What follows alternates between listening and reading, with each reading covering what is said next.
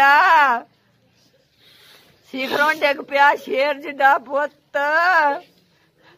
ਮੈਂ ਉਹ ਪੁੱਤ ਦੇ ਸਿਰ ਤੇ ਕਿਸੇ ਦੀ ਪਰਵਾਹ ਨਾ ਕਰਾਂ, ਨਾ ਰਿਸ਼ਤੇਦਾਰ ਦੀ, ਨਾ ਮੈਂ ਕਿਸੇ ਦੀ ਪਰਵਾਹ ਮੈਂ ਸੰਗਤ ਚ ਭੱਜੀ ਜਾਣਾ।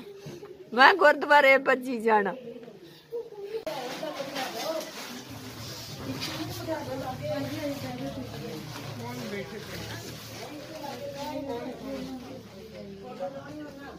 ਇਹਨਾਂ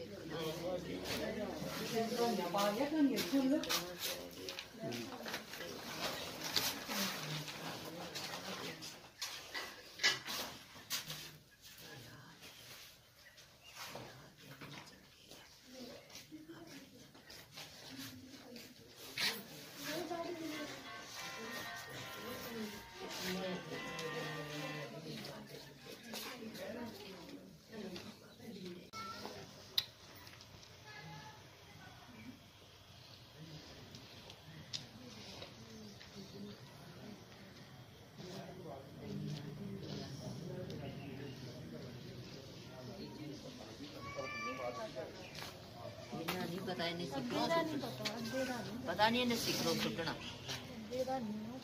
ਹਾਂਜੀ ਸਿੱਖਰੋਂ ਸੁੱਟਣਾ ਇਹਨੇ ਸਾਹਮਣੇ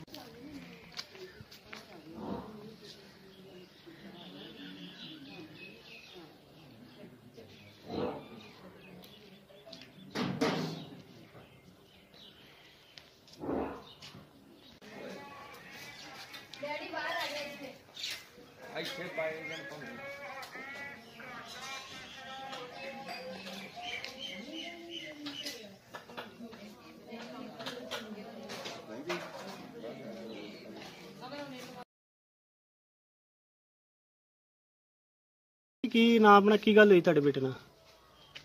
ਪ੍ਰਭ ਨੂਰ ਸਿੰਘ। ਹੂੰ ਹੂੰ। ਕੀ ਕੀ ਮੈਂ ਦੱਸਾਂ ਉਹਦੀਆਂ ਸਿਫਤਾਂ? ਕਿਹੜੀ ਕਿਹੜੀ ਮੈਂ ਗੱਲ ਕਰਾਂ? ਬਾਹਰ ਗਿਆ। ਬਾਹਰ ਗਿਆ। 20 ਤਰੀਕ ਨੂੰ ਬਾਹਰ ਚਲੇ ਗਿਆ। ਮੈਂ ਕੀ ਕੀ ਹੁਣ ਮੇਰੇ ਕੋ ਕੋਈ ਗੱਲ ਹੁੰਦੀ ਨਹੀਂ ਮੈਂ ਕੀ ਕੀ ਦੱਸਾਂ ਉਹਦੀਆਂ ਗੱਲਾਂ? ਕਿਹੜੀਆਂ ਮੈਂ ਦੱਸਾਂ ਉਹਦੀਆਂ ਗੱਲਾਂ? ਕੋਈ ਨਹੀਂ ਸਮਝ ਲੱਗਦੀ ਮੈਨੂੰ। ਕਿੰਨੇ ਬੱਚੇ ਤੁਹਾਡੇ? ਚਾਰ ਬੇਟੀਆਂ।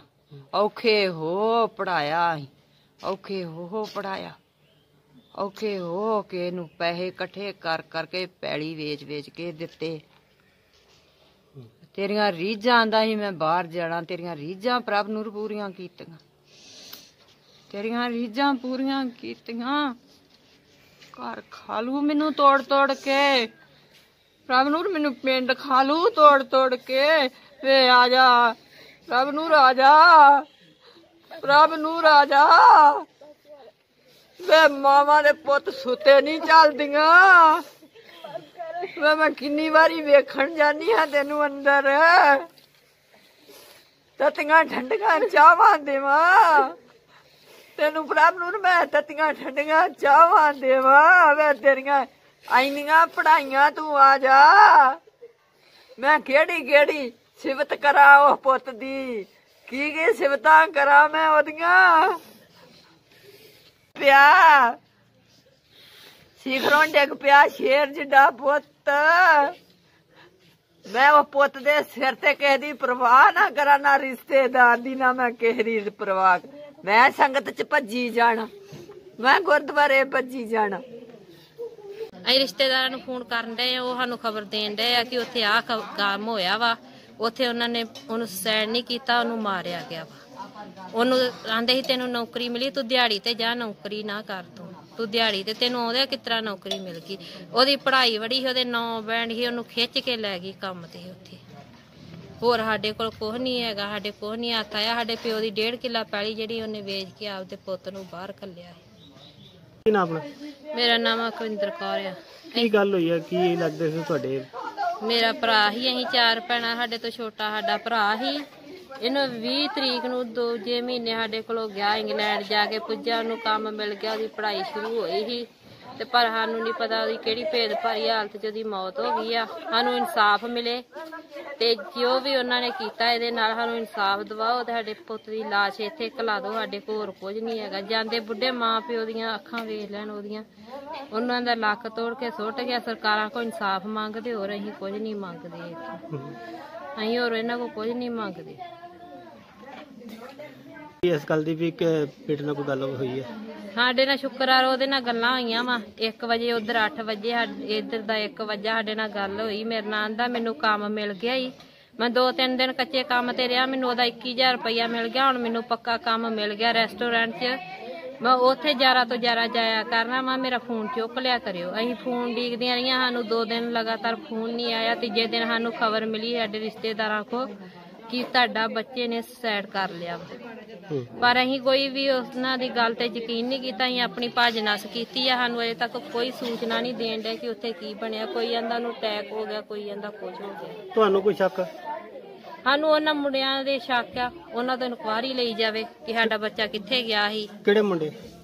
ਉਹਦੇ ਨਾਲ ਜੋ ਵੀ ਸੀ ਜਿੱਥੋਂ ਜਿੱਥੋਂ ਦੇ ਸੀ ਮਖੂ ਦੇ ਫਿਰੋਜ਼ਪੁਰ ਦੇ ਜਿੱਥੋਂ ਦੇ ਮੁੰਡੇ ਸੀ ਉਹਨਾਂ ਕੋਲ ਇਨਕੁਆਰੀ ਲਈ ਜਾਵੇ।